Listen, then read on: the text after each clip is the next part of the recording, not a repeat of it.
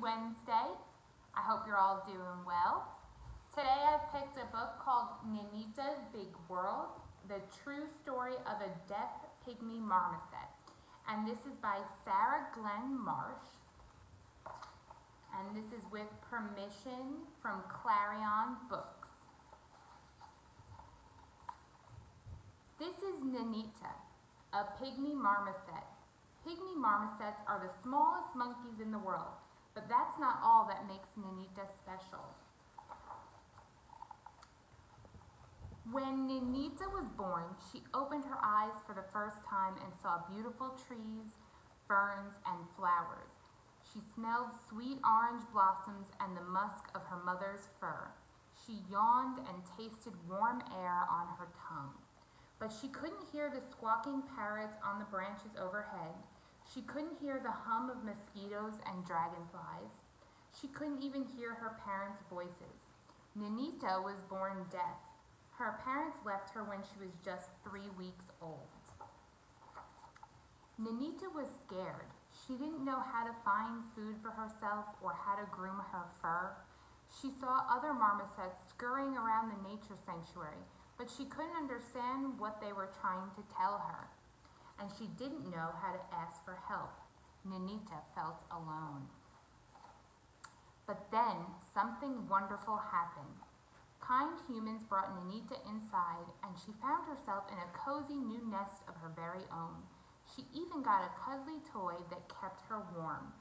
Ninita didn't need to hear the voices of her human friends to know that she was safe. Love wasn't a sound. It was warm blankets and ropes to climb on. Every day, someone groomed her pretty fur with a toothbrush. The bristles felt just like a mother's claws. Ninita loved her toothbrush massage.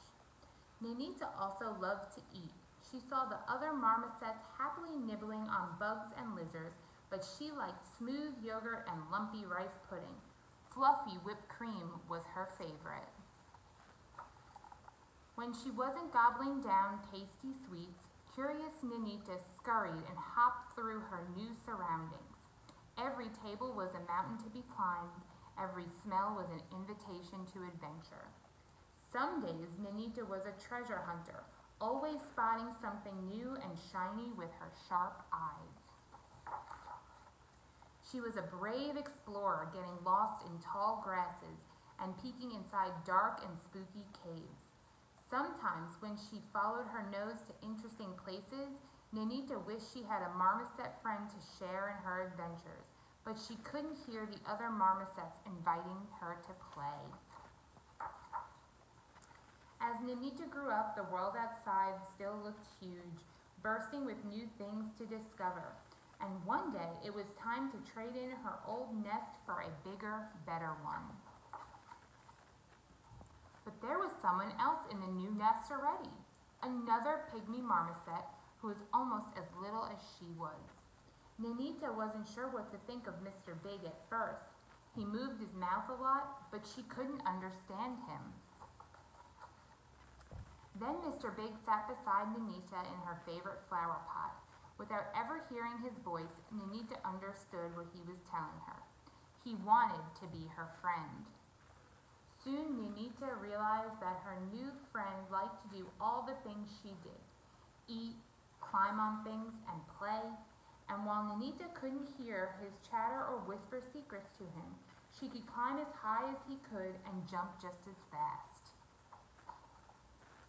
Ninita's world would always be silent, but that meant she noticed things that other marmosets often missed, like colorful creatures even smaller than she.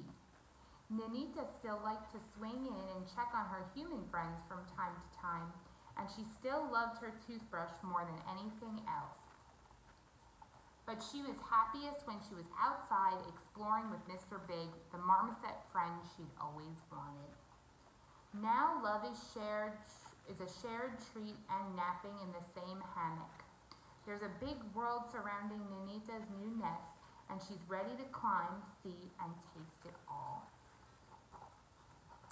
as long as she can curl up with her toothbrush at the end of the day. The end.